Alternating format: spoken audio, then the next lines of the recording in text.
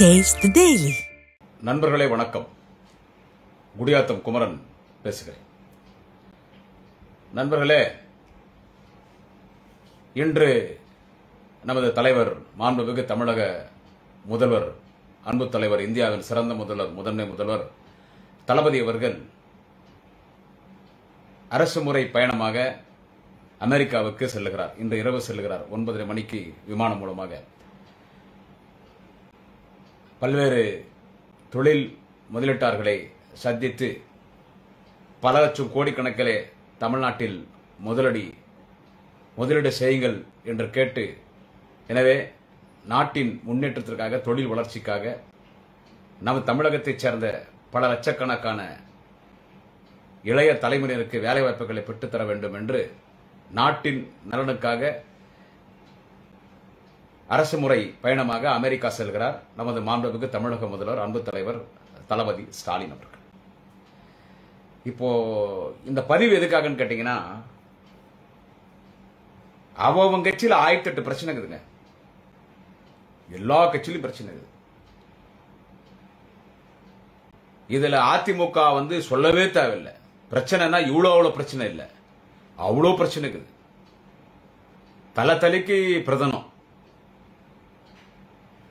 தடியத்தவெல்லாம் தண்டல்காரன். எடப்பாடி பழனிசாமிக்கு படுத்தா தூக்கம் வர மாட்டேங்குது எப்போ ஓபிஎஸ் உள்ள வந்துருவாரோ எப்போ டிடிவி தினகர் அந்தாள் உள்ள வந்துருவானோ எப்போ கொலகாரி கொள்ளக்காரி ஊழல் பெருச்சாலி சசிகலா உள்ள வந்துருமோ நம்ம அதிமுக பொதுச்செயலாளர் பதவி நமக்கு நிரந்தரமா இருக்குமோ இல்லையோ? எதிர்க்கட்சி தலைவர் பதவி நம்மகிட்ட நிரந்தரமா இருக்குமோ இல்லையோ? எத்தனை எம்எல்ஏ நம்மகிட்ட இருக்க போறாங்க? எத்தனை எம்எல்ஏ ஓபிஎஸ் பக்கம் ஓட போறாங்க? எத்தனை எம்எல்ஏ சசிகலா பக்கம் ஓட போறாங்க? எந்த நேரத்தில் சி வி சண்முகம் என்ன பண்ணுவார்? எந்த நேரத்தில் செங்கோட்டை என்ன பண்ணுவார்? எந்த நேரத்தில் கே பி முனுசாமி என்ன பண்ணுவார்? எந்த நேரத்தில் வேலுமணி பண்ணு என்ன பண்ணுவார்? இப்படி ஒரு குழப்பத்தில் இருக்கிறார் ஸோ அவங்க கட்சியில் ஆயிரத்தி எட்டு பிரச்சனை. பாஜக பாரத் ஜனதா கட்சி. அது ஏதோ அந்த ஆள் அண்ணாமலை. அது ஏதோ ஆடு ஏதோ மே மேன் ஏதோ கட்சின்னு சுற்றி நிச்சு நடுவில் இந்த அம்மா தமிழிசை சவுந்தரராஜன். அவங்க வந்து என்னன்னு கேட்டிங்கன்னா இந்த தெலுங்கானாலையும் பாண்டிச்சேரிலையும் கவர்னராக இருந்தாங்க. அந்த கவர்னரை பற்றி ரிசைன் பண்ணி அந்த அம்மா வந்து மரியாதைக்குரிய அக்கா திமுக நாடாளுமன்ற உறுப்பினர் அக்கா தமிழிச்சு தங்கப்பானை எதிர்த்து இந்த அக்காவை நிற்க சொன்னாங்க தமிழிசையை. அங்கே நின்று டெபாசிட் போயிடுச்சு. இப்போ அண்ணாமலைக்கு ஆப்போசிட்டாக அண்ணாமலைக்கு எதிர்முனை அரசியல் அண்ணாமலை விமர்சிக்கின்ற மாதிரி பத்திரிகையாளர் மத்தியிலே அந்த அக்கா தமிழிசை சந்திரராஜன் பேட்டி கொடுத்துனாங்க அங்கே அங்கே ஒரு சண்டை போகுது. இதில் இந்த புறம்போக்கு பையன் ஒருத்தன். கண்டவனுக்கு பிறந்தவன் என்ன சொல்கிறது எச்ச பொறுக்கி பரதேசி நாதாரி. குடும்பத்தையே சாட்டை தொழில்நுட்ப தாரைவாத்தி கொடுத்துட்டான். ஆமாம் அவன் அவன் இந்த போலீஸுங்கள்ட்ட தகராறு வச்சுக்கின்னு அவன் ஒரு பக்கம் பைத்தியக்கார மாதிரி சுத்தி இருக்கிறான். அவன் கட்சியில் ஆயிரத்தி பிரச்சனை. கூட இருந்தவன்லாம் இவன் கூட இனிமேல் நம்ம பயணிக்க முடியாதுன்னு காளியம்மாவை பார்த்து மயிறு பொச்சுன்னு பேசிட்டானா? அந்த பக்கம் இவன் சீமான் சாமான் குடும்பத்தை மெயின்டைன் பண்ற அந்த சாட்டை துரைமுருகனை நான் பேசுறதுனால தான் நான் பேசுறேன்னு. இப்ப பல பிரச்சனை அவன் கட்சிக்குள்ளே பாஜக அதிமுக இந்த நாம் தமிழர் இந்த பரதேசி பேவரிசி அழுக்கா நாயி இந்த கேப் மாதிரி முள்ள மாதிரி பாடு சுகரான்ல சீமான் இவனுங்கெல்லாம் இவனுக்கெல்லாம் இவங்க கட்சிக்குள்ளே பல பிரச்சனை. அவனுங்கள்தான் அவனுக்கு சுத்தமாக கழுவிக்க முடியல. அரைகுறையா கழுவிக்கிறாங்க இதுல இவனுக்கு இன்னொருத்தர் வந்து பார்த்து குனிஞ்சு பார்க்குறானுங்க. நீ சரியா கழுவல இவனுங்களெல்லாம் இப்படி தான் பேசணும். நான் என்ன சொல்றேன்? மூடிட்டு என்ன? மூடிட்டு உங்கள் உங்கள் வேலையை நீங்கள் நீங்கள் பாருங்கள் உங்கள் உங்கள் கட்சியில் ஆயிரத்தி எட்டு பிரச்சனை இருக்குது. அதை போய் பாருங்கள் திராவிட முன்னேற்ற கழகத்தை எப்படி வழிநடத்த வேண்டும்? திராவிட முன்னேற்ற கழகத்தை எப்படி வழிநடத்த வேண்டும்? திராவிட மாடல் அரசை எப்படி வழிநடத்த வேண்டும்? திராவிட முன்னேற்ற கழகத்தில் யார் யாருக்கு என்னென்ன பொறுப்பு கொடுக்க வேண்டும்? திராவிட முன்னேற்ற கழகத்தில் யார் யாரையை எந்த இடத்தில் எங்கே வைக்க வேண்டும்? கட்சியின் வளர்கிற தலைமுறைக்கு என்ன முக்கியத்துவம் கொடுக்க வேண்டும்? என்ன அங்கீகாரம் தர வேண்டும்? மூத்த முன்னணி தலைவர்களுக்கு என்ன அங்கீகாரம் தர வேண்டும்? இதெல்லாம் தலைவர் தளபதிக்கு தெரியும். அவர் ஒன்று நேத்து பெய்த மழையில் இன்றைக்கு முளைத்த காலம் கிடையாது. ஓகேவா? அவருக்கு தெரியும். யாரை எங்க வைக்கணும்ன்றது அவருக்கு தெரியும். யாரார எங்கெங்க வைக்கணுமோ திராவிட முன்னேற்ற கழகத்திலும் அரசு பொறுப்புகளிலும் அவரவர்கள் தகுதிக்கு அவரவர்களை அங்கெங்கே வைத்திருக்கிறார் எங்களுடைய தலைவர் தளபதி அவர்கள். அவர் கலைஞருடைய புள்ள ஐம்பது வருஷம் அரசியல் இருந்துகிறாரு. திடீர்னு டக்குன்னு குச்சி முதலமைச்சர் ஆகல. பலமுறை சொல்லிட்டார் வரலாறு. நான் சொல்லி தலைவர் தளபதியுடைய வரலாறு என்ன என்று தெரிய வேண்டும் என்ற அவசியம் இல்லை. அவர் வரலாறு என்னன்னு எல்லாருக்கும் தெரியும். அதே மாதிரி நாளைய தமிழகத்தினுடைய எங்கள் மாண்புமிகு அண்ணன் உதயநிதி ஸ்டாலின் அவர்கள். அவர் கலைஞருடைய பேரப்பிள்ளை தளபதியினுடைய வீரப்பிள்ளை திராவிட இயக்கத்தின் ஐந்தாம் தலைமுறை திராவிட இயக்கத்தின் குளக்குழுந்து வாலிப கலைஞராக இரண்டாம் கலைஞராக இன்றைக்கு இளைஞரணி செயலாளராக மாண்புமிகு அமைச்சராக சிறப்பான முறையில் பணியாற்றி கொண்டிருக்கிறார். அது கலைஞருடைய பிளட்டு தளபதி ஸ்டாலினுடைய பிளட்டு குடும்பமே அரசியல் பாரம்பரியமிக்க குடும்பம். அதை சொல்றதை விட இந்தியாவில் இருக்கிற அரசியல் பாரம்பரியமிக்க குடும்பங்களிலே முதன்மையான திராவிட இயக்க குடும்பம். இந்தியாவில் இருக்கிற ஒட்டுமொத்த ஒடுக்கப்பட்ட சமுதாய மக்களுக்காக சிறுபான்மை மக்களுக்காக குரல் கொடுத்து ஒட்டு ஒடுக்கப்பட்ட சமுதாய மக்களை இன்றைக்கு கல்வியிலும் வேலை வாய்ப்பிலும் எல்லாவற்றிலும் இன்றைக்கு உயர்ந்த இடத்தில் அமர வைத்திருப்பது யார் என்று கேட்டால் கலைஞருடைய குடும்பம் கலைஞர் என்கின்ற அந்த மாபெரும் தலைவன். அவருடைய பேரப்பிள்ளை மாண்புமிகு உதயநிதி ஸ்டாலின். அவருக்கும் தெரியும். அவர் எது பேசினாலும் கரெக்டா பேசுவார். அவர் எது பேசினாலும் கரெக்டா பேசுவார். சோ திமுகவுக்கு தெரியும். நான் என்ன சொல்றேன்னா இங்க வந்து நீங்க நீங்க இவங்களுக்கு முக்கியத்துவம் கொடுக்கல. நீங்க அவங்கள ஒதுக்குறீங்க. நீங்க இவங்களுக்கு தான் பதவி கொடுக்கணும். நீங்க அவங்கள தான் பதவி கொடுக்கணும்னு சொல்ற தகுதி எவனுக்கும் எவளுக்கும் கிடையாது என்பதை இந்த பதிவிலே குடியாத்தம் குமரன் அரசியலிலே ஆண்மையோடு தைரியமாக பதிவு செய்யறேன் திரும்பி சொல்லிட்டா தளபதியை பார்த்தோ திமுக கழகத்தின் உட்கட்சி பிரச்சனையிலோ உட்கட்சியில் எந்த பிரச்சனை இல்லை. திமுக உட்கட்சி விவகாரத்திலோ திராவிட மாடல் அரசிலோ என்ன சொல்றது இவங்களுக்கு இந்த பொறுப்பு கொடுக்கணும் இவங்களை இந்த இடத்துல வைக்கணும். நீங்க இவங்கள வந்து ஒதுக்குறீங்க இவங்கள புறக்கணிக்கிறீங்கன்னு சொல்றதுக்கு எவனுக்கும் எவளுக்கும் தகுதி கிடையாது. மூடிட்டு உங்க வேலையை நீங்க போய் பாருங்க. உங்க வீட்டுல ஆயிட்டு பிரச்சனை இருக்குது. என்ன சொல்றது? அதை போய் பாருங்க. உங்க கட்சியில பல கோடி பிரச்சனை இருக்குது. அதை போய் பாருங்க. உங்க டவுசரே லூஸ் ஆகி போச்சு. கட்டுறதுக்கு நாடா கூட இல்ல. ஒரு கையில இழுத்து பூச்சி டவுசர் அரசியல் நடந்துனுக்கிறீங்க உங்க கோமணமே அவுந்து போயினுக்குது அந்த கோமணத்தை சரியா கட்டிக்கோ. நாங்கெல்லாம் பக்காவா நல்லா காஸ்ட்லியா அண்டர்வேர் போட்டு நல்ல பக்காவா நல்ல ஃபேண்ட் வேஸ்ட் கட்டி பெல்ட் கட்டி இதுக்கு கட்டின்னு நாங்க தில்ல அரசியல் பண்ணினுக்கிறோம் எங்க கிட்ட வராத. உன் இடுப்புல உன் கோமணம் நிக்கல. உன் இடுப்புல உனக்கு உன் டவுசர் நிக்கல. உன் பேண்ட் நிக்கல. வேட்டிக்கு நிக்கல. அம்மனமா அரை அரை அரை அம்மனமா என்ன சொல்றது? அம்மனமா சுத்துற அரை அம்மனமா சுத்துற அரை நிர்வாணமா சுத்தி இருக்கிறீங்க அரசியல நீங்க எல்லாம் பார்த்து உங்க வேலையை நீங்க பாருங்க. ரொம்ப அதிகமா போய் பேசினா பிரச்சனை வரும். என்ன சொல்றது? நீ யாரடா சொல்றது? நான் சீமான கேக்குறேன் வார்த்தா? நீ யார் சொல்றது? உன் வீட்டுல தான் துணை முதலமைச்சர் பதவி தேடணுமா? உன் வீட்டு தான் துணை முதலமைச்சர் பதவி தான் கேட்டா ஆமாடா புறம்போக்கு. டேய் ஆமாடா புறம்போக்கு. குடும்பத்தை இன்னொருத்தனை கூட்டி கொடுத்துற சாமான் ஆமாடா. ஏன்? உன் வீட்டுல தான் துணை முதலமைச்சர் பதவி தான் கேக்குறிய? என்ன சொல்றது? தலைவர் குடும்பத்தை பார்த்து தலைவர் குடும்பம் தமிழ்நாட்டில் தானடா இருக்குது? டேய் வேவரிசி அழுக்கான் ஐய தலைவர் குடும்பமும் தமிழ்நாட்டில் தானே இருக்குது? தமிழ்நாட்டினுடைய தலைமை வீடு எங்க தலைவர் தளபதி வீடு தான் போருமா? தமிழ்நாட்டினுடைய என்ன சொல்றது? தமிழ்நாட்டினுடைய தலைமை வீடு எங்க தலைவர் தளபதி வீடு தான் என் கட்சியில யார் எந்த பொறுப்புக்கு வரணும் திமுக யார் எந்த பொறுப்புக்கு வரணும் யார் முடிவெடுக்கணும்னு கேட்டா தலைமை முடிவெடுக்கிறத விட தலைமை முடிவெடுக்கிறத விட தலைவனை யார் தேர்ந்தெடுக்கணும்? இரண்டாம் கட்ட தலைவன் யார் தேர்ந்தெடுக்கணும்னா தலைமையோ ஏன் இன்னும் ஒன்னு மேல போய் சொல்றேன். நாம் ஓப்பனாக பேசுறோம் தலைமையோ தலைவரோ தலைவர் கீழே இருக்கிற தலைமை நிர்வாகிகளை விட இந்த கட்சியை எதிர்காலத்தில் யார் வழி நடத்தணும்? நம்ம கட்சி ஆளுங்கட்சியில் இருக்குது. முதலமைச்சர் அது இடத்துல அந்த அந்த அதுக்கு அதுக்கு அதுக்கு அடுத்த இடத்துல யாரை உட்கார வைக்கணும்னு யாரும் முடிவு பண்ணணும்னு கேட்டா கிட்டத்தட்ட இரண்டரை கோடி திராவிட முன்னேற்ற கழகத்தில் தொண்டர்கள் இருக்கிறார்கள். உடன்பிறப்புகள் இருக்கிறார்கள். அவங்க தான் முடிவு பண்ணணும். மக்கள் தீர்ப்பே மகேசன் தீர்ப்புன்னு சொல்றேன் இல்லைங்களா? மக்கள் தீர்ப்பே மகேசன் தீர்ப்புன்னு சொல்றேன்ல? அந்த மாதிரி கழக உடன்பிறப்புகளின் தீர்ப்பே அறிஞர் அண்ணாவின் தீர்ப்பு தலைவர் கலைஞரின் தீர்ப்பு. அவங்க தான் முக்கியம்.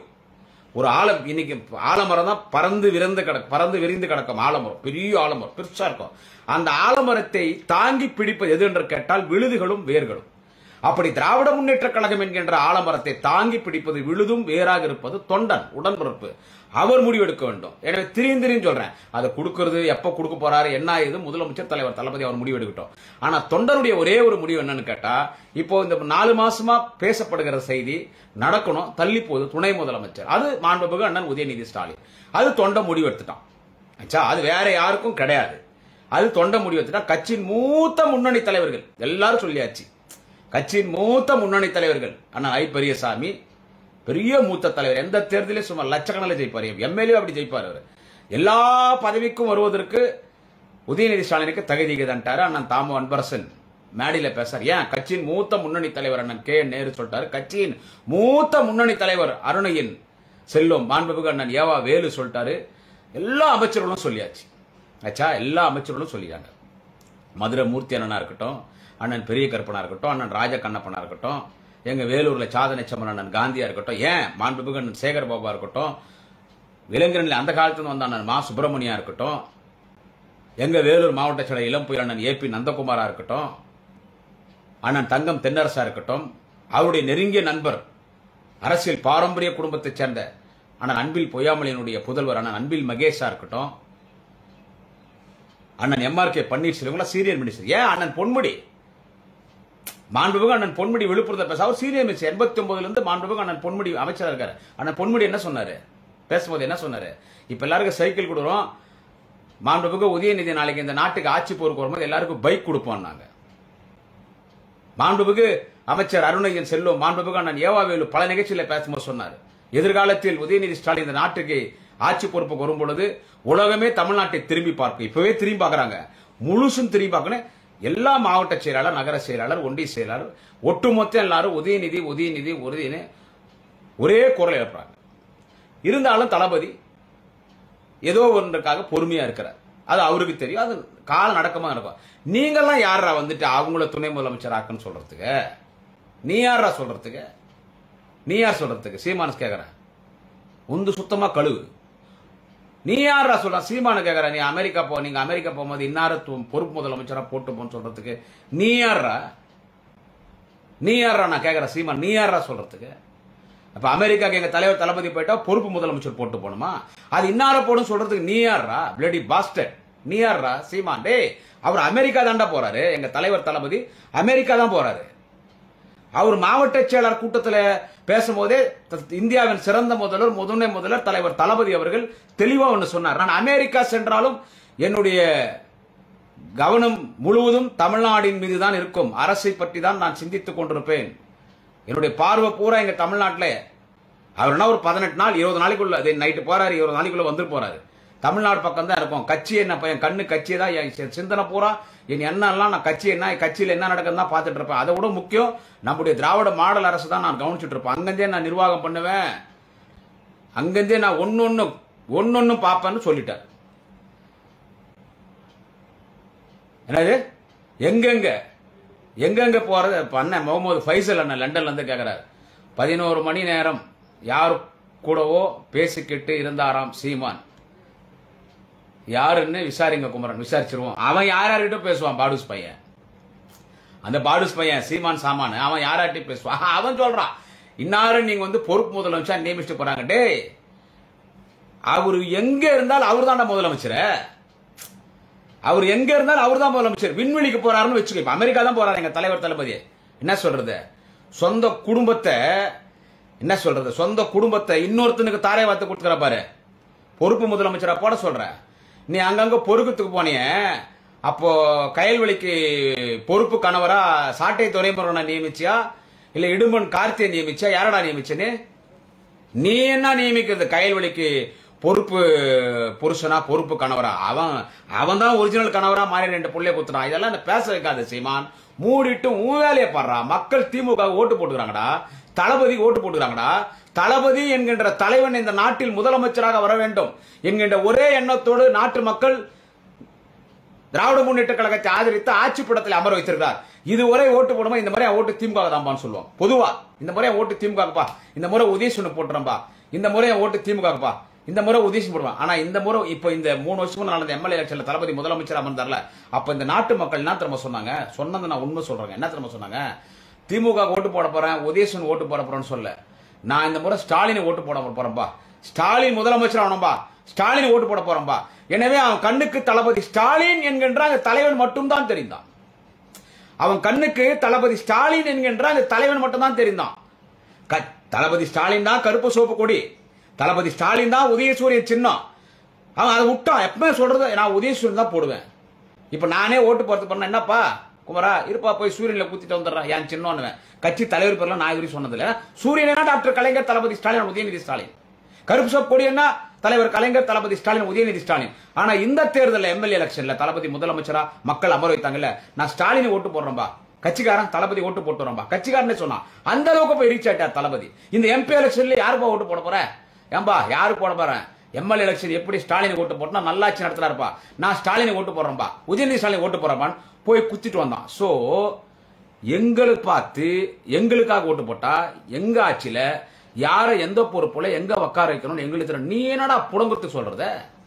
நீ ஃபாரின் போகும்போது இன்னாருக்கு பொறுப்பு முதலமைச்சர் கொடுத்துட்டு போன மூடிட்டு போடா. அவர் எங்க இருந்தாலும் அவரு பாப்பாடுறா இடியட் விண்வெளிக்கு போறாருன்னு வச்சுக்கோங்க தளபதி. இப்ப இருபது நாள் அமெரிக்கா இருபத்தி ரெண்டு நாள் வச்சுக்கணும். விண்வெளிக்கு போறாருன்னு வச்சுக்கோங்க எங்க தலைவர் தளபதி. விண்வெளினா என்னன்னு தெரியுமா உனக்கு? தெரியல ஸ்பேஸ் ஆம்ஸ்டாங் போனார். நீல் ஆம்ஸ்ட்ராங் என்னது? நீல் ஆம்ஸ்ட்ராங் போனார். அந்த மாதிரி பலர் போயிட்டே இருக்குது. விண்வெளிக்கு போயிட்டே இருக்காங்க. இந்த ஸ்பேஸுக்கு போறாங்கல்ல மேலே சேட்டலைட் எல்லாம் போறாங்கல்ல அந்த மாதிரி எங்க தலைவர் தளபதி விண்வெளி வீரர்களோடு ஸ்பேஸுக்கு போறான்னு வச்சுக்கோ விண்வெளிக்கு போறான்னு வச்சுக்கோ. அங்க போய் அஞ்சு மாசம் ஆறு மாசம் தளபதி தங்குறாருன்னு வச்சுக்கோ ஒரு பேச்சுக்கு சொல்றேன் ஒரு பேச்சுக்கு. ஆறு மாசம் போய் விண்வெளியில் எங்க தளபதி தங்கினாலும் அங்கேருந்தே ஆட்சி நடத்துவார் எங்க தளபதி. அங்கிருந்தே கட்சி நடத்துவார் இங்க இருக்கிற அமெரிக்காவுக்கு போறதுக்கு பொறுப்பு முதலமைச்சர் போனோமா அதை இந்த பாடுஸ் பையன் சொல்றான் போடா டே டே போடா. உன்ன மாதிரியா? ஏண்டா? எவனாவது பொண்டாட்டி கிட்ட குடும்பம் நடத்த முடியாம பொறுப்பு கணவர்னு எவனா நியமிச்சது பாத்தீங்களா? ஒக்கால ஒளி இவன் சீமான் பொறுப்பு கணவரா நியமிச்சுக்கிறான். இவன் நியமிக்கல. அவன் தாட்டை துறைமுருகன். அந்த குடும்பத்தை அவன் தத்தி கட்டுட்டான் பொறுப்பு கனவு இல்ல. கணவராகவே ஆயிட்டான். உன் குடும்பம் இப்படி நாறுது. உன் குடும்பம் இப்படி நாறுது. உன் கட்சி அப்படி உன் கூட இருக்கிறவனுக்கே பாதுகாப்பு இல்லாம ஓடி போயிட்டான் உன்னை போலீஸ் விட்டு வச்சுக்குது பாரு. அதை சொல்லணும். அவர் திருச்சியினுடைய எஸ்பி ஒரு பெரிய அதிகாரி அவர். நல்லா படிச்சவர். நல்ல பேர் அவருக்கு. கரப்ட் ஒரு கரப்ஷன் இல்லாத போலீஸ். எப்படி சினிமாவில் வால்டர் வெற்றிவேல் சத்யராஜாரை பார்த்தோமோ அந்த மாதிரி எப்படி கேப்டன் பிரபாகரன் படத்தில் ஒரு நேர்மையான அதிகாரியாக கே- கேப்டன் விஜயகாந்தை பார்க்குறோமோ அது மாதிரி நேர்மையான போலீஸ் நான் நடிகர் சூர்யா பல படத்தில் நடிச்சுக்கிறாரு. சிங்கம் படம். அந்த மாதிரி ஒரு காவல் அதிகாரி யாருன்னு கேட்டா திருச்சியினுடைய எஸ்பி. வருண் சார். வருண் அருண். அவர் அவர் அவர் வருண் சார் அவரு தான் அவர் என்னென்ன பேசியிருக்கு அவர் உன்னை விட்டு வச்சுக்கிறாரு. அவர் என்ன உங்ககிட்ட சண்டை போட்டுக்கிறாரு? உன்னை மாதிரி நான் பிச்சைக்காரன் நீ பிச்சைக்காரன் திருச்சி எஸ்பி சொன்னார். கரெக்ட் தான். அதுக்கு உன் கோவம் என்ன பார்த்து பிச்சைக்காரனா? உக்காளி நீயே சொன்னிடா சாமான். நீயே சொன்னியே நீ எப்படிங்க இப்போ எந்த வருமானம் இல்லை எப்படிங்க நீங்க பொழைக்கிறோன்னு ஒரு பத்திரிக்கையாளர் கேள்வி கேட்கும்போது பிச்சை எடுத்து பொழைக்கிறேன்னு என்ன சொல்றது? பிச்சைக்காரன் நீயே ஒத்துக்கினியே. அப்புறம் நீ என்ன யாரை பத்தி? அதனால மூடிட்டு உன் வேலையை பாரு. என் கட்சியில ஏன் ஆட்சி இருந்து இன்னாருக்கு இந்த பதவி கொடு அன்னாருக்கு அந்த பதவி கொடுனா நீ சொல்லாத. என் கட்சியில் இருக்கிற ரெண்டு கோடி கிட்டத்தட்ட இரண்டரை கோடி தொண்டர் முடிவு பண்ணி முடிவு பண்ணிட்டான். இன்னும் ஐம்பது ஆண்டு காலத்திற்கு திராவிட முன்னேற்ற கழகத்தையும் திராவிட மண்ணையும் பாதுகாப்பதற்கு நாங்கள் தேர்ந்தெடுத்திருக்கிற தலைவன் வாலிப கலைஞர் உதயநிதி ஸ்டாலின். முடிஞ்சு போச்சா? அது எப்போ தலைவர் துணை முதலமைச்சர் கொடுக்குறாரோ? கொடுக்கட்டும். இல்ல அடுத்த முறை ஆட்சி அமைக்கும் போது தலைவர் தளபதி அவர்கள் முதலமைச்சரா பொறுப்பேற்கும் பொழுது துணை முதலமைச்சரா பொறுப்பேற்கிறதா பொறுப்பேற்றுக்கிட்டோம் இப்பவே நாங்க அவரை தான் ஏத்துக்கிறோம் எனவே தொண்டன் தீர்ப்பே இறுதியான தீர்ப்பு. இதை நான் ஓப்பனா சொல்லிடுறேன். இதுல இதனால ஒரு பிரச்சனை வந்தாலும் அதையும் சந்திக்கிறதுக்கு தயார். தொண்டன் தீர்ப்பே இறுதியான தீர்ப்பு. எனக்கு என் கட்சியை காப்பாற்றணும் இன்னும் ஐம்பது வருஷத்துக்கு என் கட்சிக்கு ஒரு தலைமை வேணும். தமிழ்நாட்டை காப்பாத்துறதுக்கு நல்லாட்சி நடத்துறதுக்கு இன்னும் ஐம்பது வருஷத்துக்கு எங்களுக்கு ஒரு தலைமை வேணும். அதுக்கு தமிழ்நாட்டு மக்களும் திராவிட முன்னேற்ற கழகத்தின் தொண்டனும் தேர்ந்தெடுத்திருக்கிற ஒரு தலைவர் உதயநிதி ஸ்டாலின். எந்த எதிர்பார்ப்பும் எதிர்பார்த்து தொடர்ந்து குடியாத்த குமரன் அண்ணன் உதயநிதி ஸ்டாலின் பேசின இல்லை. ஏன்னு கேட்டா நான் ஒன்னு குறைஞ்ச பட்சம் சின்ன பதவி ஒரு ரெண்டாயிரம் பேர் ஒரு ஊராட்சி மன்றம். ஆயிரம் பேர் இருக்கிற ஊராட்சி மன்றம் கூட இருக்குது. ஆயிரம் பேர் தான் இருப்பாங்க அந்த ஊராட்சியில. அதுல ஒரு நாலு வார்டு மெம்பர் வருவான். கிளாஸு சீப்பு தட்டு இந்த மாதிரி சின்னங்கள் இருக்கும். தானிய குதிர் தொடப்பம் இந்த மாதிரி சின்னங்கள் இருக்கும். அதில் நின்று வார்டு மெம்பராக ஜெயிக்கிற ஒரு நூறு ஓட்டு வாங்கிட்டு வார்டு மெம்பர் ஆயிடலாம். அந்த பதவி கூட நான் வரப்போறதில்ல. அந்த பதவிக்கும் நான் கேட்க போறதில்ல. அந்த பதவி கூட எனக்கு கிடைக்க போறதில்ல. அந்த பதவியும் நான் கேட்க போறதில்ல. அப்புறம் அதுக்கு பிறகுதான் ஊராட்சி மன்ற தலைவர் ஒன்றிய குழு உறுப்பினர் மாவட்ட குழு உறுப்பினர் எம்எல்ஏ எம்பி இதெல்லாம். எதுவும் கிடையாது. போச்சா?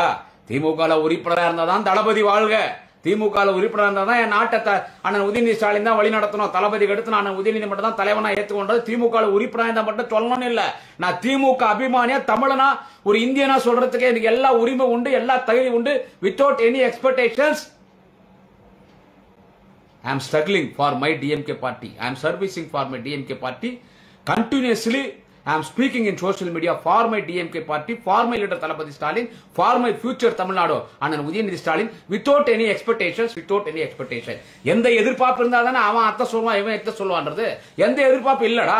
எனக்கு இந்த நாட்டில் உழைக்கிறாரா தளபதி? உழைக்கிறாரா? அவர் மாதிரி யாரா உழைக்கிறாங்க? யாரா உழைக்கிறாங்க? இந்த தமிழ்நாடு நல்லா இருக்கணும்டா. ஆரியத்துக்கிட்ட இந்த தா- ஆரிய மண்ணா இந்த தமிழ் திராவிட மண்ணை மாறிடக்கூடாது. எடப்பாடி போன்ற கரப்டட் லீடர்ஸ் இந்த நாட்டில் ஆட்சி பொறுப்பு வரக்கூடாது. ஒரு எம்எல்ஏ கூட சீமான் மாதிரி அந்த பேவரிசி அழுக்கா அந்த லஞ்சா கொடுக்கா சாமான் பையன் வந்துடக்கூடாது இந்த நாட்டை பாதுகாக்கணும். அதனால திமுக தான் இருக்கணும்னு சொல்ல வரல. திமுக விட்ட வேற கட்சி இல்லையே. திமுக இருக்கிற திமுக இருக்கிற தலைவர் மாதிரி வேற கட்சியில இல்லையே. அந்த திமுக எந்த தலைவன் எந்த இடத்துக்கு வரணும் தொண்டை முடிவு பண்ணோம் தளபதி வந்தாச்சு. தளபதிக்கு அடுத்து துணை முதலமைச்சர்? அது அண்ணன் உதயநிதி ஸ்டாலின் தான். எதிர்காலத்தில் தளபதி அடுத்து இந்த கட்சி நாட்டை வழி நடத்தணுமா? அதை அண்ணன் உதயநிதி ஸ்டாலின் தான். அது தொண்டை முடிவு பண்ணிட்டா மக்கள் முடிவு பண்ணிட்டான் நடுவில் நீங்களாம் என்னடா வந்து பஞ்சாயத்து பண்றது? எங்களுக்கு தெரியும். இதுல வந்து இதுல ஏதாவது திமுக நடக்காதா? இதுல இந்த ஊடகங்கள் நான் ஊடகங்களை தப்பா பேசல. உங்களுக்கு தேவை டிஆர்பி ரேட்டு யூடியூப் சேனல்ஸ் தேவை பிரீமியம் எல்லாம் வருமானம் தான். அதுக்கு நீங்க ஏடிஎம்கே பேசினா யாரும் அதை பார்க்க மாட்டாங்க. பிஜேபி பேசினா அது யாரும் பார்க்க மாட்டாங்க. நாம் தமிழர் கட்சி அவன் புறம்போக்கு வேசி மகன் விவசாரி மகன் அவசாரி மகன் பார்க்க மாட்டாங்க. யாரை திட்டினா அதிகம் பார்ப்பாங்க. வாழ்கனாலும் திமுக தான் வாழ்கன்னு சொன்னோம் ஒளிகனாலும் திமுக தான் ஒளிகன்னு சொன்னோம் எந்த தலைவனை சுத்தி சுத்தி அரசியல் பண்ணா நம்ம மீடியாவை பார்ப்பாங்க நம்ம யூடியூப் பார்ப்பாங்க. எந்த தலைவனை பேசினா நம்மள எல்லாரும் பேசுவாங்கன்னு மற்ற அரசியல் கட்சி எதிர்க்கட்சிகள் யாரு? அது இந்தியாவிலே சிம்ம சொப்பனமாக இருக்கக்கூடிய ஒரே ஒரு தலைவர் தலைவர் கலைஞர் நிதயத்தை இரவலாக பெற்றிருக்கிற ஒரு மாபெரும் தலைவன் தாய்ப்பாலில் தூசிப்பட்டாலும் படும் பொதுவாழ்வில் தூசிப்படாத ஒரே ஒரு தலைவர் தளபதி மு க ஸ்டாலின். அதற்கு அடுத்து யாரு? ஒரு இளம் தலைவன். இந்தியாவே இன்றைக்கு உற்று பார்க்கிற ஒரு இளம் தலைவன். அவர்தான் மாண்புமிகு உதயநிதி ஸ்டாலின். இவங்க ரெண்டு பேர் பேசினா நான் பொழப்பு ஓட்டிடலாம். அது மீடியாவா இருக்கட்டும் அது யூடியூபா இருக்கட்டும். அதை அதை யூடியூபெல்லாம் என்ன தப்பா நினைக்கூடாது என்னை வாழ வைப்பது யூடியூப் தான். யூடியூப் யூடியூப் சேனல் யூடியூப் நேரர்கள் தான். அதே மாதிரி மீடியா சோ எல்லாம் பிசினஸ் மோட்டிவ் தானே? அது எங்களுக்கு பிளஸ் தான். அது சரி இவங்க ரெண்டு பேர் தான். அதனால சுற்றி இந்த கட்சியில் என்ன நடக்குது? இதே எடுத்துக்கின்னு பேசிக்கின்னு. மற்ற கட்சியில் ஆயிரத்தி எட்டு பிரச்சனை இருக்குது. இப்போ நடுவில் மாண்புமிகு தமிழகத்தினுடைய நெடுஞ்சாலைத்துறை மற்றும் பொதுப்பணித்துறை அமைச்சர் அருணையின் செல்லும் அருணையின் அருணையாளர் வள்ளல் பெருந்தகை மிகுந்த மரியாதை கூற எங்கள் குடும்ப அண்ணன் திருவண்ணாமலை மாவட்ட செயலாளர் உயர்நிலை செயல்திட்டக்குழு உறுப்பினர் உயர்ந்த உள்ளத்திற்கு சொந்தக்காரர் ஆறுயிர் அண்ணன் மாண்புமிகு அண்ணன் ஏவா வேலு? கலைஞர் என்னும் தாயின்னு ஒரு நூல் எழுதினார். அற்புதமான நூல். எப்படி எல்லாரும் நெஞ்சுக்கு நீதி படிச்சோமோ நெஞ்சுக்கு நீதி படிச்சவங்கெல்லாம் கலைஞர் என்னும் தாய் அதை நெஞ்சுக்கு நீதிக்கு ஒப்பிட்டு பேசினார். நூலை வெளியிட்டு கலைவாணர் அரங்கில் மாண்புக்கு தமிழக முதல் அன்பு தலைவர் தளபதி அந்த நூல் வெட்டு வெளி- வெளியீட்டு விழாவில் என்னென்ன நடந்துச்சு அதெல்லாம் உங்களுக்கு தெரியும். அதுக்குள்ளெல்லாம் போய் நான் சர்ச்சைக்கு உள்ளானதாக மாற தயாராகில்லை பட் உண்மை நடந்ததுன்னா அது அங்கே அங்கே ஒன்றும் நடக்கலை. என்ன சொல்றது? அது ஒண்ணு இது ஒரு திமுக ஒரு குடும்ப நிகழ்ச்சி. அங்க என்ன நடந்துச்சு நூல் தெரியும். உண்மையிலே அந்த நூல் வெளியிட்ட அற்புதமான விழா அதுல அந்த நூலை வந்து தலைவர் தளபதி வெளியிடுறார். அந்த முதல் நூலை பெற்றுக்கொண்டது யார் என்று கேட்டால் இந்தியாவினுடைய சூப்பர் ஸ்டார். நான் இந்தியா மட்டும் சொல்ல மாட்டேன். Asia continent. ஒரு ஒரு கண்டம் இருக்குல்ல? அந்த மாதிரி நம்ம இந்தியா வந்து ஏசியா கான்டினென்ட் ஏசியா கண்டத்துக்குள்ளே வருகிறது. ஏசியா கான்டினென்ட் ஏசியா கண்டத்தினுடைய ஒரு மிகப்பெரிய சூப்பர் ஸ்டார் நடிகர் யார் என்று கேட்டால் ஒரு சாதாரண கண்டக்டராக தன்னுடைய பயணத்தை தொடங்கி அவரே சொல்லுகிறார். தமிழ்நாட்டுக்கு வந்து இன்னைக்கு ஒரு பெரிய ஸ்டார் சினிமா திரைப்படம் சொன்னா நினைவுக்கு வருவது ஒரே ஒரு நடிகர் ஒரு நல்ல மனிதர் ஒரு ஆன்மீகவாதி ஒரு சிறந்த மனிதர் சூப்பர் ஸ்டார் திரு ரஜினிகாந்த் அவர்கள். சூப்பர் ஸ்டார் ரஜினிகாந்த் வந்தாரு அந்த விழாவில் கலந்துக்கினாரு. கலைஞர் என்னும் தாய் புத்தகத்தை தலைவர் தளபதி வெளியிடுறார் அது முதல் பிரதியை வாங்கிக்கின்னு அவர் பேசுறார். ரொம்ப சிறப்பாக பேசினார். சூப்பர் ஸ்டார் ரஜினிகாந்த் அவர்கள் பேசுனது கலைஞர் என்னும் தாய் ஆறு உயிர் அண்ணன் மாண்புமிகு அண்ணன் ஏவா வேலூர்கள் எழுதிய கலைஞர் என்னும் தாய் நூலை வெளியிட்டு அந்த தலைவர் தளபதி வெளியிடுறாரு முதல் பிரதியே அவர் அவர் சிற்பிக்குள்ள இருந்து அப்படியே சிற்பியை திறக்கிறாங்க. அந்த சிற்பி பார்த்தா என்ன ஞாபகம் தெரியுமா? ஒரு இரு ஒரு கிட்டத்தட்ட முப்பது வருஷம் இருக்கும் நினைக்கிறேன். மெரினால அண்ணன் சைதை கிட்ட பவர்ஃபுல் மாவட்ட செயலாளர். மாவட்ட செயலாளர் சைதை கிட்ட மாட்சியாளர் அப்போ அப்ப ரெண்டே மாட்சியாளர் அந்த பக்கம் அண்ணன் பலராமன் இந்த பக்கம் நான் சைதை கிட்ட. சைதை கிட்டு கழகப்பணியில் சிட்டுன்னு தளபதி சொல்லுவார் தலைவரும் சொல்லுவார். அப்ப தலைவர் முத்து விழாக்கு வரும்போது முத்து விழாக்கு வராங்க. அப்ப தலைவர் எப்படி தெரியுமா? ஒரு முத்து அப்படியே திறந்துச்சு. அந்த முத்துல இருந்து அப்படியே வெளியே வரார். சிற்பிங்க சிற்பி இதுல சிற்பி.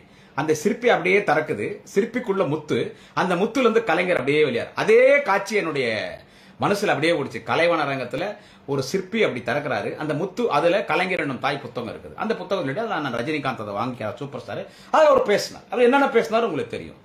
இது வரைக்கும் அவ்வளோ நேரம் சூப்பர் ஸ்டார் அண்ணன் ரஜினிகாந்த் அவர்கள் பேசி யாரும் பார்த்ததில்லை. அவர் சொந்த படத்தினுடைய ஒளிநாட வெளியீட்டு விழா இருக்கட்டும் இல்ல வெற்றி விழாவா இருக்கட்டும் இல்ல வேற சினிமா விழாவா இருக்கட்டும் எந்த நிகழ்ச்சியா இருக்கட்டும் இதே தலைவர் கலைஞர் முதலமைச்சராக இருக்கும் பொழுது நம்முடைய முத்தமிழ் தலைவர் கலைஞர் முதலமைச்சராக இருக்கும் பொழுது பல்வேறு நிகழ்வுகளை ஆளுங்கட்சியாக இருக்கும் பொழுது எதிர்க்கட்சியாக கலந்து கொண்டிருக்கிறார். பத்து நிமிஷம் பேசினா பெரிய விஷயம். நாற்பது நிமிஷம் கிட்டத்தட்ட நாற்பத்தஞ்சு நிமிஷம். திமுகவினுடைய பேச்சாளராகவே மாறிட்டார். எப்படி மாண்புமிகு தமிழக முதல்வர் தலைவர் தளபதி அவர்கள் தலைவர் கலைஞருடைய நூற்றாண்டு நினைவு நாணயத்தை வெளியிட்டு மிகுந்த மரியாதைக்குரிய மாண்புமிகு மத்திய பாதுகாப்புத்துறை அமைச்சர் ஒன்றிய பாதுகாப்புத்துறை அமைச்சர் ராஜ்நாத் சிங் பேசியது குறித்த அவர் திருவொற்றியூருடைய சட்டமன்ற உறுப்பினர் அண்ணன் கே பி சங்கர் மகள் திருமண விழாவில் பேசும்போது சொன்னார் ஒரு கூட்டணி கட்சி தலைவர் திமுக பேச்சாளரே பேசினாலும் இப்படி பேசியிருக்க அப்படி பேசிவிட்டார் மரியாதைக்குரிய பாதுகாப்புத்துறை அமைச்சர் ராஜ்நாத் சிங் என்ற தலைவர் தளபதி கோடிட்டு காட்டினாரு. அதுபோல் சூப்பர் ஸ்டார் ரஜினிகாந்த் திமுகவினுடைய ஒரு அடிமட்ட தொண்டன் திமுகவினுடைய ஒரு பேச்சாளர் பேச மாதிரி சூப்பர் ஸ்டார் பேசினார். என்ன பேச்சுங்க சூப்பர் ஸ்டார் பேச? உண்மையிலே சொல்றேன். உண்மையிலே சூப்பர் ஸ்டார் சார் நீங்க வந்து இமயமலைக்கு மேல இமயமலைக்கு மேல இமயமலைக்கு மேல இமயமலைக்கு மேல இமயமலைக்கு மேல வானத்தை தாண்டி ஸ்பேஸ் விண்மலின்னு சொல்றேன். அதை தாண்டி எங்கேயோ போயிட்டீங்க. புகழின் உச்சியில. நான் அவ்வளவு பெருந்தன்மையானவனு காட்டிட்டீங்க. என்ன ஸ்பீச் பேசினாரு? கலைஞருடைய வரலாறு கலைஞரோட அவரும் வாழ்ந்தார். கலைஞரோட வாழ்ந்தாருங்க சூப்பர் ஸ்டார் ரஜினிகாந்த். அவர் தொடர்ந்து ஆரம்பத்துல இருந்து பாத்தீங்கன்னா எம்ஜிஆரோட நெருக்கமா இருந்தார்.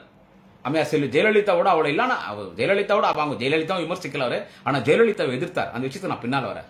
ஆனா ரொம்ப நெருக்கமா இருந்தது யாருக்கிட்டன்னு கேட்டா டாக்டர் கலைஞர் தலைவர் தளபதி. குடும்பத்துல ஒருத்தரா இருந்தார். இன்னைக்கு தளபதி குடும்பத்துல அண்ணன் உதயநிதி குடும்பத்துல ஒருத்தரா இருக்கிறாரு. கலைஞர்னா யாரு? அவர் பத்திரிக்கையாளர் எப்படி சந்த்- பொதுவா பத்திரிக்கையாளர் சந்திக்கிறதுக்கே பயப்படாங்க இப்ப யாரும் பத்திரிக்கையாளரே சந்திக்கிறதுனா அண்ணன் ரஜினிகாந்த் சூப்பர் ஸ்டார் அழகா சொன்னாரு. அவருடைய அரசியல் பயணங்கள் ஒரு பேச்சாளர்னா எப்படி எப்படி பேசுவானா இவரு எல்லாத்துக்கும் ஒரு மாற்றுப்பட்ட பேச்சாளர். எங்க தூக்கணும் எங்க அது- ரொம்ப அருமையா பேசுகிறார் ரொம்ப நான் உன்னிப்பா கவனிச்சேன் அத்தை. ரொம்ப உன்னிப்பா கவனிச்சேன். எனக்கு ஒரு பெரிய வரலாறுன்னு கேட்டா அந்த விழாக்கு மிகுந்த மரியாதைக்குரிய தொண்டர்களின் பாதுகாவலர் தொண்டர்களின் காவலர் எங்களுடைய ஆறுயிர் அண்ணன் அருணையின் செல்வம் அண்ணன் ஏவா வேலு பத்திரிகை வீட்டுக்கு கொடுத்து அமிச்சாங்க. போய் பார்க்குறேன் அப்படியே மெய் செறிஞ்சு போச்சு. ஸ்டேஜுக்கு மூணாவது ரோல் அறிஞர்கள் கவிஞர்கள் புலவர்கள்னு சீட் ஒதுக்கினாங்க அதில். கவிஞர் பொற்கோ அவர் பக்கத்தில் குடியாத்த கொம்பன் ஸ்டிக்கர் ஒட்டிச்சு எனக்கு. ஏன்னா நான் இங்கே போய் சொல்ல முடியாது. அந்த அளவுக்கு அதில் உட்காந்து ரசித்து கேட்டேன். என்ன பேசினார்? தளபதியுடைய உழைப்பை சொன்னார் பாருங்க. அதில் ஒரு சில கதைகள்லாம் சொன்னார். அதெல்லாம் நான் சொல்ல விரும்பலை. இங்கே யாரும் நான் விமர்சிக்கலை. இங்கே யாரையும் விமர்சிக்கலை. யாரும் மனதையும் புண்படுத்துகிற மாதிரியும் நான் பேசலை. அவர் ஒரு நகைச்சுவைக்காக பேசினார். நகைச்சுவைக்காக பேசினார். ஆனா நல்லா பேசினார். அருமையான பேசினார். அவர் தளபதி ஸ்டார் தலைவரை பார்த்துட்டு ஹேட்ஸ் ஆஃப் ஸ்டாலின் சார் நான் சூப்பர் ஸ்டார் சொல்றேன். நான் ஒரு திராவிட முன்னேற்ற கழகத்தின் கோடிக்கணக்கான தொண்டர்களில் கடைகோடி தொண்டர் கடைகோடி தொண்டர். Now I am not member also DMK என்னுடைய பொசிஷன் அப்படி. ஆனா நான் சார்வரி திமுக. ஒரு ஏழை தொண்டனாக ஏழை குடிசிலான உண்மையான கலைஞரின் பக்தனாக உண்மையான தலைவர் தளபதியின் கடைகோடி உண்மை தொண்டனாக நாளைய தமிழக நாளைய தமிழக மாண்புமிகு உதயநிதி ஸ்டாலினுடைய கடைகோடி தொண்டனாக ஒரு ஏழை தொண்டனாக கொள்கை உறுதியோடு என் என்றைக்கும் என் கட்சி திமுக என் சின்னம் உதயசூரியன் என் கொடி திமுக தளபதி தளபதி அண்ணன் உதயநிதி என் கடவுள் கலைஞர் என்று புகழ் பாடிக்கொண்டிருக்கிற குடியாத்தம் குமரன் சொல்கிறேன் உங்களுக்கு கோடிக்கணக்கான வணக்கம் சூப்பர் சார் ரஜினிகாந்த் சார். உங்கள் பாதங்களுக்கு என்ன ஸ்பீச் பேசுனீங்க? அதுல என்ன சொல்ல வரார் தெரியுமா? அது எல்லாருக்கும் என்ன சொல்ல தளபதி இந்த அளவுக்கு ஒழிக்கிறார். இப்படி எல்லாரையும் அரவணைத்து செல்லக்கூடிய ஒரு தலைவன் மு க ஸ்டாலின். அவரு அவர் ஸ்டாலின் சார்னா அவர் இவரோட வயதில் ஒரு மூத்தவர். முதலமைச்சர் ஸ்டாலின் சார் மாதிரி யாரும் இல்லை. தொடர்ந்து பதிமூணு வருஷம் திமுக ஆட்சியில் இல்லை. கலைஞர் கட்சி நடத்தினாரு. பத்து வருஷம் ஆட்சியில் இல்லை. எதிர்க்கட்சி ஸ்டாலின் கட்சி நடத்தினாரு. ஆனா அஞ்சு வருஷம் ஆட்சியில் இல்லைன்னா கூட திணறி போயிடுறாங்கன்னு அவர் இந்தியாவில் இருக்கிற மாநிலத்தின் குறிப்பிடவில்லை பொதுவா சொல்றாரு. யாரை சொன்னாரு? அதை நம்ம சொல்லக்கூடாது. அவ்வளோ பெரிய தலைவரியா கலைஞர் தளபதி ஸ்டாலின். இன்னைக்கு மக்களுக்காக உழைக்கிறாங்கன்னு. எவ்வளோ சிறப்பாக திமுக தூக்கி எங்கே வச்சார்? பெரிய விஷயம். அவர் பெரிய ஸ்டார் இன்னைக்கு ஐநூறு கோடி ரூபாய்க்கு மேலே சம்பளம் வாங்குறவர். விசாகப்பட்டினத்தில் ஷூட்டிங் கேன்சல் பண்ணிட்டு வரார். திமுக சொல்லி அது அந்த அந்த பேச்சினுடைய அந்த 45 நிமிஷம் பேச்சினுடைய சாராம்சம் உங்களுக்கு என்னன்னு புரிஞ்சிச்சா? அவருடைய பொருள் என்னன்னு புரிஞ்சிச்சா உங்களுக்கு? My date of birth is nineteen seventy five October first பத்தாம் மாதம் பிறகுறேன். நாற்பத்தெட்டு வயசு நடக்குது. அடுத்த அக்டோபர் வந்தால் எனக்கு 49 வயசு. ஏழு கழுது வயசாயிடுச்சு. அப்படியே போயிடுச்சு என் வாழ்க்கை. பதினெட்டு வயசுல மேடை ஏறிட்டேன். பெங்களூர்ல படிக்கும் போதே நான் பேசுவாங்க ஸ்கூல்ல பேசுவேன். பதினெட்டு வயசுல திமுக மேடை ஏறியாச்சு. இருபது வயசுல நோட்டீஸ் போட்டு பேச ஆரம்பிச்சாச்சு. இருபத்தி நாலு வயசுல தலைமை கழக அறிவிப்புல வந்தாச்சு. எனக்கும் தெரியும். அவர் பேசினார்ல அந்த 45 நிமிடம். கிட்டத்தட்ட அதனுடைய சாராம்சம் என்னன்னு தெரியுதா? உழைக்கக்கூடிய தலைவன் இந்த நாட்டில் தளபதி ஸ்டாலின். ஒரு கட்சி எப்படி வழிநடத்த வேண்டும் என்றால் தளபதி ஸ்டாலினை பார்த்து தெரிஞ்சுக்கோ. ஒரு மூத்த முன்னணி தலைவர்களை எப்படி அரவணைக்க வேண்டும் அவருக்குரிய மரியாதை எப்படி கொடுப்பது என்பதை தலைவர் தளபதி ஸ்டாலினை பார்த்து கத்துக்கோ. அதே நேரத்தில் இளைய தலைமுறைக்கும் முக்கியத்துவம் தருகிற ஒரு தலைவன் யார் என்று கேட்டால் தளபதி ஸ்டாலின். சகித்து தன்மை இருக்கிற ஒரு தலைவன் யார் என்று கேட்டால் தளபதி ஸ்டாலின். சிறந்த நிர்வாகி யார் என்று கேட்டால் தலைவர் தளபதி ஸ்டாலின். சிறந்த மனிதாபிமானி யார் என்று கேட்டால் தலைவர் தளபதி ஸ்டாலின். இவரை போன்ற ஒரு தலைவன் கிடைப்பாரா? இப்படிப்பட்ட அப்படி அவருடைய தந்தை கலைஞர் அந்த வழியில் வந்திருக்கிறார். எனவே தளபதி ஸ்டாலின் வழியில் தன்னுடைய மகன். கலைஞரின் பேரப்பிள்ளை தளபதி ஸ்டாலினுடைய மகன் உதயநிதி ஸ்டாலின் என்கின்ற அந்த ஒரு இளைஞர். அண்ணன் உதயநிதி குறிப்பிடும் போது அவர் சொல்றார். அரசியல் இப்ப வந்தார். அதாவது அவர் எம்எல்ஏ இளைஞரணி செயலாளராகி எம்எல்ஏ ஆகி மந்திரி ஆனது வச்சு அவர் சொல்றார். அவர் குடும்பமே திமுக. பட் களத்துக்கு வந்து சொல்றார். அதுக்கு முன்னாலே பத்து வருஷங்கள முரசொலி அறக்கட்டளை தலைவர். தலைவர் கலைஞருடைய மூத்த பிள்ளை முரசொலி அறக்கட்டளையுடைய தலைவர். சொல்லிட்டு ஒரு சிறந்த எதிர்காலம் இருக்கிற இளைஞர்னு அங்க ரெக்கார்ட் பண்றாரு இதை எல்லாரும் கொஞ்சம் கவனிக்கணும் சார் சூப்பர் ஸ்டார் ரஜினிகாந்த் என்ன சொல்றாருன்னா சிறந்த எதிர்காலம் இருக்கிற ஒரு நல்ல பண்றாரு வாழ்த்துக்கள் சொல்லிட்டு போறது வேற. சிறந்த எதிர்காலம் உள்ள ஒரு இளைஞர் சிறந்த எதிர்காலம் உள்ள ஒரு இளைஞர் தம்பி உதயநிதி ஸ்டாலின் என்றார். அப்ப என்ன அதுக்கு அர்த்தம்? எதிர்காலத்துல இந்த நாட்டை வழிநடத்த போற ஒரு தலைவன் திமுகல அன்னைக்கு கலைஞர் இன்னைக்கு ஸ்டாலின் நாளைக்கு உதயநிதி ஸ்டாலின் சொல்லிட்டாருங்க. இளைஞருக்கு வழிவிடணும்னு அது ஒரு கதைலாம் சொன்னார். அதை நம்ம நகைச்சுவை எடுத்துக்கோ அதில் நம்ம இந்த அரசியல் நம்ம பண்ண தேவையில்ல. யார் மனசும் இங்க புண்படுத்துற மாதிரி நான் பேச வரல. யார் மனசும் புண்படுத்த மாட்டேன். இது நாடு பூரா பேசப்படுற செய்தி. நான் எல்லா விஷயத்தையும் நான் சோசியல் மீடியால பேசுறேன். இதை பேசலாம். இல்லைன்னா பயங்குது யார் மனசையும் நம்ம வந்து புண்படுத்தல. ஒரு கதை ஒன்று சொன்னார். நியூ ஸ்டூடெண்ட்ஸு ஓல்ட் ஸ்டூடெண்ட்ஸ் அது ஒரு நகைச்சுவைக்காக சொன்னது. ஒரு நகைச்சுவைக்காக சொன்னது. அவ்வளவுதான். வேற எதுவும் கிடையாது. ஒரு நகைச்சுவையாக சொன்னது. அது ஆச்சா? அது சொன்னதுல டோட்டல் என்னன்னு கேட்ட அவர் சொல்றாருன்னா உதயநிதி ஸ்டாலினுக்கு எதிர்காலம் நல்லா இருக்குது. எனவே அடுத்த தலைமுறை உதயநிதி ஸ்டாலின் தான். அவர் ஏன் நீங்க இன்னும் துணை முதலமைச்சர் தரம் தரன்னு எல்லாரும் பேசுறாங்க? இன்னும் ஏன் நீங்க உதயநிதி ஸ்டாலினுக்கு துணை முதலமைச்சர் பொருளை கொடுக்கலாமே? அதுக்கு தகுதியான தலைமை ஆகும் தான் சொல்ல வராருங்க. இதுதாங்க அவர் பேச்சினுடைய பொருள். திமுக நல்ல நல்ல கவர்மெண்ட் திமுக தலைவர் நல்ல தலைவர். வேற எந்த கட்சிக்கு இந்த நாட்டுல ஆட்சி நடத்த தகுதி இல்லன்ட்டார். எப்போ பத்து பதிமூணு வருஷம் ஒரு கட்சி தொடர்ந்து ஆட்சியில் இல்லாம திரும்பி ஆட்சிக்கு வருது. பத்து வருஷம் தொடர்ந்து ஒரு கட்சி ஆட்சி இல்லாம தளபதி முதலமைச்சர் மக்கள் உட்காரிக்கிறாங்கன்னா ஒரு சில ஆனா மற்ற கட்சிங்க அஞ்சு வருஷம் ஆட்சி பொறுப்பு இல்லைனால தத்தளிச்சு போறாங்கன்னா அப்போ இந்த நாட்டை வழிநடத்துவதற்கு எல்லா வகையிலும் தகுதியான கட்சி திமுக. தளபதி ஸ்டாலின். தலை சிறந்த எதிர்காலம் தம்பி உதயநிதி ஸ்டாலின் சொல்லும் போது எதிர்காலத்துல உதயநிதி ஸ்டாலின் தான். அவர் நீங்க துணை முதலமைச்சர் பொறுப்பு கொடுக்கலாம். இந்த கட்சி அவர் நீங்க எதிர்காலத்துல கட்சி வழி நடத்துவாரு இந்த நாட்டிய வழி நடத்துவாரு நம்ம கட்சிக்காக பேசியிருக்காரு. நம்ம இதே சூப்பர் ஸ்டார் ரஜினிகாந்த் தான் இது வரைக்கும் கலைஞர் எதிர்த்ததில்லை. இது வரைக்கும் திமுக எதிர்த்ததில்லை. தளபதி எதிர்த்ததில்லை. ஆனால் உதய எதிர்காலம் சொல்லிட்டார். இதே மிகுந்த மரியாதைக்குரிய சூப்பர் ஸ்டார் ரஜினிகாந்த் அவர்கள் தான் மீண்டும் ஜெயலலிதா இந்த நாட்டில் ஆட்சி பொறுப்புக்கு வந்தா கடவுளாலையும் நம்மள இந்த நாட்டை காப்பாற்ற முடியாதுன்னு சொல்லணும். அந்த யாருன்னு கேட்டா தைரியமான ஆண்மகன். Super star Rajinikanth. ஜெயலலிதான சாதாரணமான ஆளா? நமக்கு ஒருத்தர் ஆவல எதிர்கட்சின்றதால இலகாரமா பேசக்கூடாது. எடப்பாடி பழனிசாமி எவ்வளவு நாள் பேசலாம் அது கால் நக்கி டயர் நக்கி ஜெயலலிதா கால்கிட்ட போய் அம்மா தாயே பகவதி பிக்ஷாந்தேவி முதலமைச்சர் பதவி பிச்சை படமானு சசிகலா சாரி சசிகலா ஜெயலலிதா சசிகலா. எடப்பாடி பழனிசாமி சசிகலா கால்ல வந்து சசிகலா கால் பிச்சு கால் போட்ட பிச்சை அவருக்கு முதலமைச்சர் பதவி இன்னும் நாட்டில் யார் வேணாலும் சொல்லுவேன் ஆனால் ஜெயலலிதா அப்படி சொல்ல முடியாது. ஆனானப்பட்ட ஜெயலலிதாவையே இனிமே ஜெயலலிதா ஆட்சி பொறுப்பு வந்துட்டா உங்களை கடவுளாலையும் காப்பாற்ற முடியாது. எல்லாரும் கலைஞர் ஜிக்கு ஓட்டு போடுங்கன்னு சொன்னது சூப்பர் ஸ்டார் ரஜினிகாந்த் தொண்ணூத்தி நம்ம ஆட்சிக்கு வந்து அவரும் ஒரு காரணம். அதை நம்ம இல்லைன்னு சொல்லக்கூடாது. அவரும் ஒரு காரணம். அவர் பகிரங்கமாக ஆதரிச்சார். திமுகவை பகிரங்கமாக ஆதரிச்சார். தொடர்ந்து திராவிட முன்னேற்ற கழகத்திற்கு அவர் எதிர்ப்பாக எதிர்ப்பாக இல்லை ஆதரவாக இல்லை என்றாலும் எதிர்ப்பு தெரிவிக்கவில்லை. கலைஞரோடு திமுகவோடு கலைஞரோடு தளபதியோடு நெருக்கமாக இருந்த ஒரு தலைவர் ஒரு நடிகர். அவர் கட்சி ஆரம்பிக்கிற மாதிரி ஒரு முடிவெல்லாம் எடுத்தாருங்க. ஏன் டிராப் பண்ணார் தெரியும்? ஒரு கட்சி ஆரம்பிக்கணும் எடுத்த முடிவு உண்மைதான். நான் ஒரு ஏழையா இருக்கலாம். திமுக எந்த ஒரு பதவி இல்லாம எது எந்த நிலையும் இல்லாம ஒரு எங்கேயோ ஒரு மூலையில் இருக்கலாம். எனக்கும் ஒரு கொஞ்சம் அரசியல் தெரியும். அவர் முடிவு எடுத்தது உண்மைதான். பெரிய டிஸ்கஷன் எல்லாம் நடந்துச்சு. பெரிய டிஸ்கஷன் எத்தனை என்ஆர்ஐ வந்து அவரை பார்த்தாங்கன்றதெல்லாம் கூட தெரியும். எத்தனை என்ஆர்ஐ வந்து பார்த்தாங்க. கடைசியில் ஒரு முக்கியமான ஒரு நபர் அவருக்கு ஆலோசனை சொன்னாங்க. சொன்ன நபர் யாருன்னு கேட்டால் அவர் ஒரு பிராமணர். பிஜேபியில் மோடி அத்வானி அந்த காலத்தில் வாஜ்பாயின்னு அவங்களோட நெருக்கமாக இருக்கக்கூடியவர்.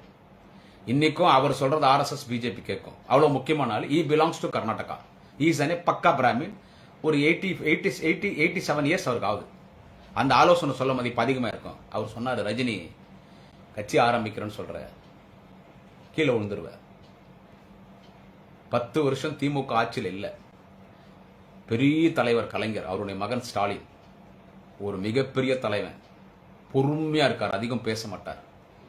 மக்கள் எப்போ தேர்தல் வரும் எப்போ ஸ்டாலினை முதலமைச்சர் ஆக்கலாம்னு துடிச்சிட்டு இருக்காங்க. இந்த மணி நேரத்தில் நீ கட்சி ஆரம்பிச்சுன்னா என்ன ஆகும்? உன்னை நம்பி வரவங்களாம் என்ன ஆகும்? நீ கட்சி ஆரம்பிச்சா ஆட்சிக்கு வரணும். எப்படி ஆந்திராவில் கட்சி ஆரம்பிச்சோன்னு முதல் தேர்தலில் என் டி ராமராவ் ஆட்சிக்கு வந்தார் அந்த மாதிரி வரணும். அதுக்கு வாய்ப்பே இல்லை. நீ வேணா நிற்கிற இடத்துல வேணா ஜெயிக்கலாம் ஒன்று ரெண்டு ஜெயிக்கலாம் ஓரளவுக்கு நீங்கள் ஓட்டு வாங்கலாம். இல்லைன்னு சொல்ல. அதன் பிறகு உன்னை நம்பி எல்லாரும் வந்தவன் குடும்பம் நடுரோட்டுக்கு வந்துடும் பார்த்து யோசிச்ச யோசிச்சார் சூப்பர் ஸ்டார் அப்பதான் சொன்னார் நான் ஒரு மாநாடு நடத்தி இந்த வயசுல ஒரு ஆப்ரேஷன் ஆகி இந்த வயசுல வந்திருக்கேன். என்ன நம்பி எல்லாம் வருவாங்க. ரஜினி சாருக்கு வருவாங்க இல்லைன்னு சொல்ல. பெரிய கூட்டம் வரும். பெரிய கூட்டம் வரும்.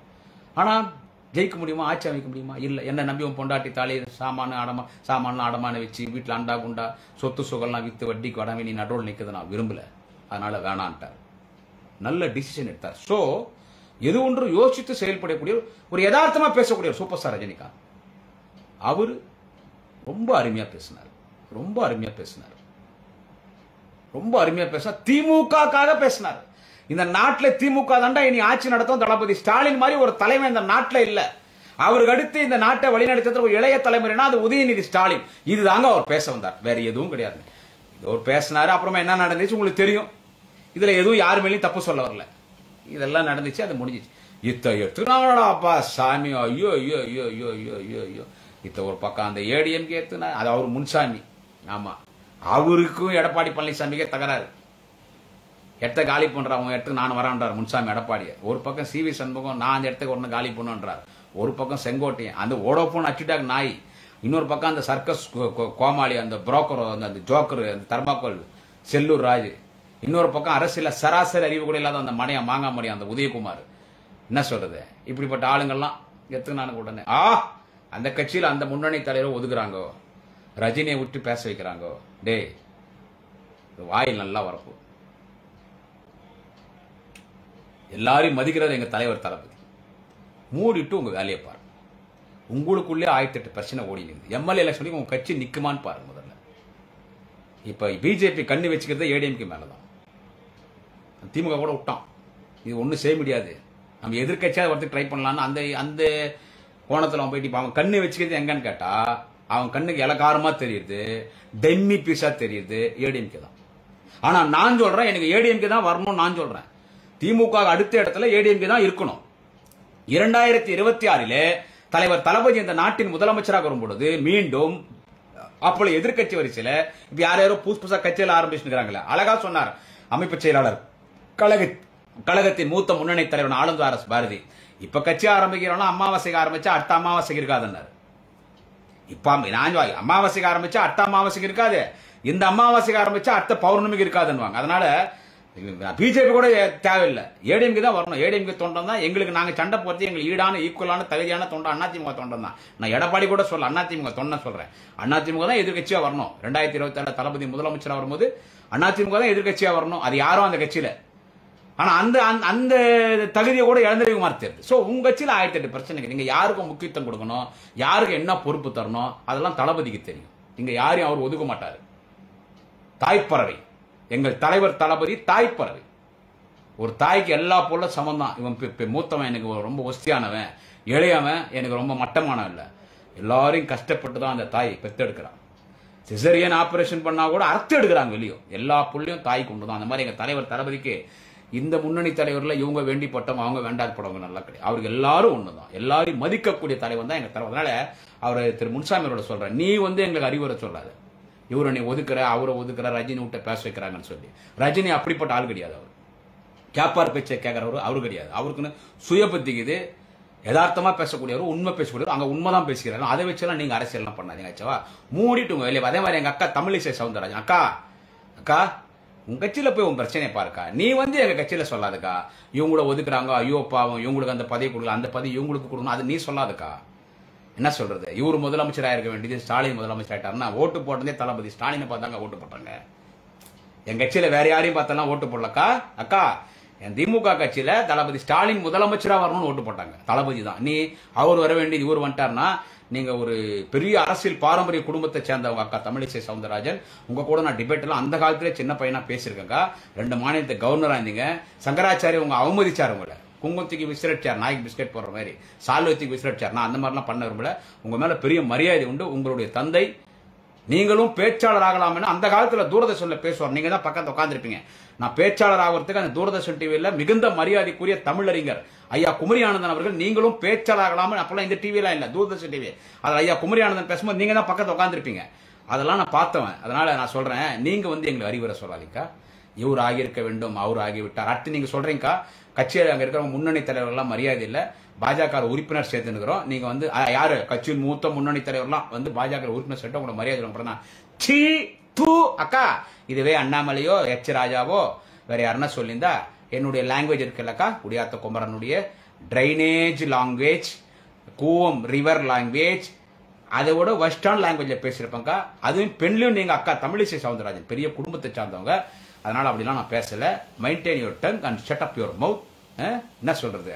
டோன்ட் லூஸ் யுவர் வேர்ட்ஸ் என்ன பேசணுமோ அதை பேசணும் அக்கா முன்னணி தலைவர்லாம் உங்க கட்சியில சேரணும். இங்க யாரும் பிளேடு இங்க யாரும் கேப் மாதிரி முள்ள மாதிரி பிளேடு பக்கிரி பிக் பாக்கெட்டு செயின் அடிக்கிறவன் திருடன் பெண்களை பாலியல் பலாத்காரம் பண்றவன் கஞ்சா கட்டுறவன் பாட்டில் விற்கிறவன் கொலகாரன் ரவுடி முள்ளமாரி முச்சோக்கி யாரும் இல்லையாக்கா அந்த மாதிரிங்க உங்க கட்சியில் இருக்கிறது வந்து சேர்றவங்களாம் யார் சேர்றான் கேப் மாதிரி முள்ள மாதிரி முச்சோக்கி போட்டு வண்டி போட்டு வண்டி எயிட் பண்ணி பொம்பளைகளை கற்பழிக்கிறவன் செயின் அடிக்கிறவன்.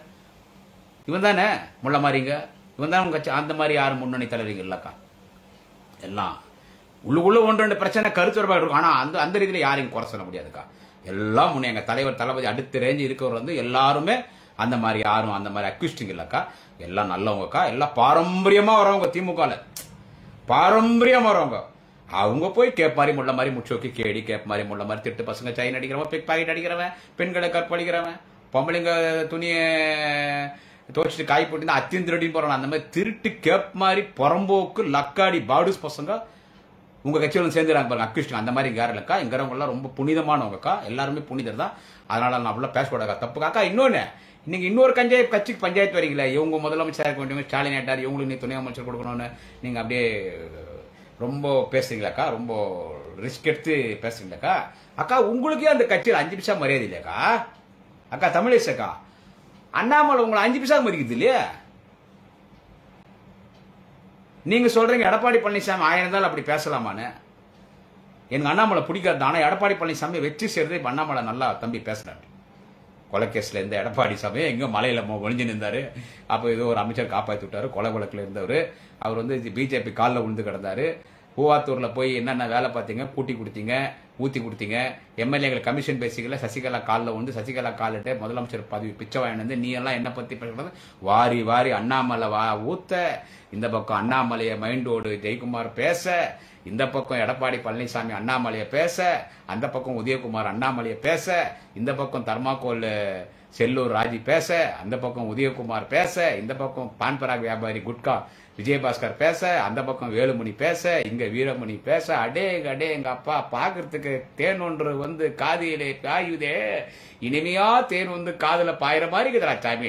நீங்க ரெண்டு பேர் சண்டை போட்டுக்குது அச்சாடுறது ஏடா ரெண்டு பேர் சேர்ந்து என்ன சீன் போட்டீங்க? சோ உங்களுக்குள்ளேயே இவ்வளோ கலீஜி இவ்வளோ கப்பு இருக்கும்போது நீ வந்து திமுகக்குள்ள யாருக்கு என்ன பதவி கொடுக்கணும் யாருக்கு எந்த இடம் கொடுக்கணும் நீ யார நீ அவங்கள ஓரம் கட்டுறன்னு அதெல்லாம் உனக்கு போய் உந்து கழுவுமே அந்த ஏரியில போய் சுத்தமா. ஏரியில போய் சுத்தமா உந்த கழுவினுவா அப்புறமா இன்னொருத்தர் சொல்லுவேன் ஃப்ரண்ட் சைடு பேக் சைடு மூடி நீங்க போங்க. என்ன சொல்றது? இன்னொரு அறிவர் சொன்னதால மரியாதைக்குரிய எங்க அக்கா தமிழிசை சவுந்தரராஜன் நான் அவங்கள மரியாதையா பேசணும். அதனால உங்க கட்சியில உங்களை அஞ்சு நிமிஷம் மரியாதை இல்லக்கா.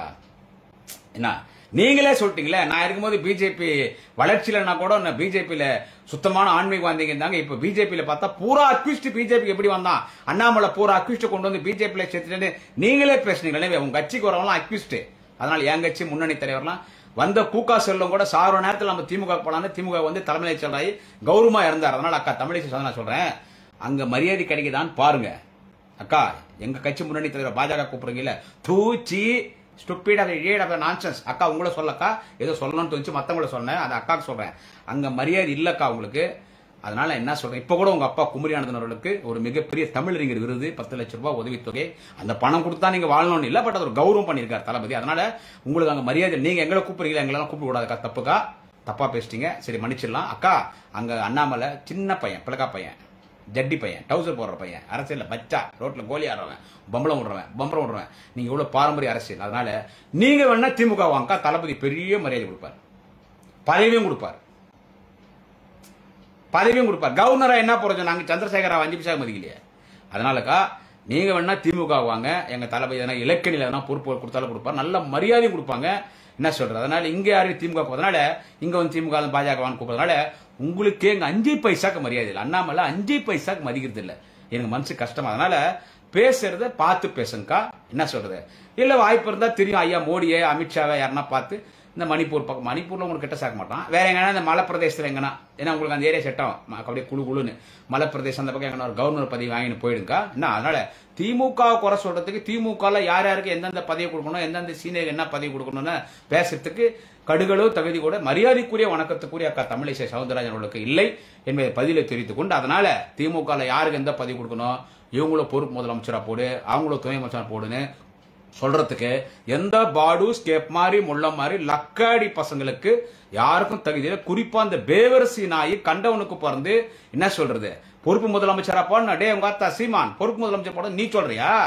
இந்த உலகத்துல எங்க இருந்தாலும் உலகம் தாண்டி விண்கெழுத்து போய் வேற கிரகத்துல போய் உக்காந்து இருந்தா கூட எங்க தளபதி இங்க முதலமைச்சரோட பாப்பாச்சா அதனால உன் பொண்டாட்டிக்கே பொறுப்பு கணவரா சாட்டை துறைமுறை நியமிச்சுக்கிற நீ இதெல்லாம் பேசக்கூடாது. உன் குடும்பத்தை இன்னொருத்தண்டு ஒப்பச்சிட்ட அதனால மூடிக்கணும் வேலையை பாரு. அதனால திமுக அறிவுரை சொல்றதோ திமுக அரசுக்கு அறிவுரை சொல்றதோ இவங்களுக்கு அந்த பொறுப்பு கொடு இவங்களுக்கு அந்த முக்கியத்துவம் கொடுன்னு சொல்றதுக்கு எவனுக்கும் எவ்வளவுக்கும் யாருக்கும் எந்த தகுதி கிடையாது. மூடிட்டு உங்க வேலையை பாருங்க.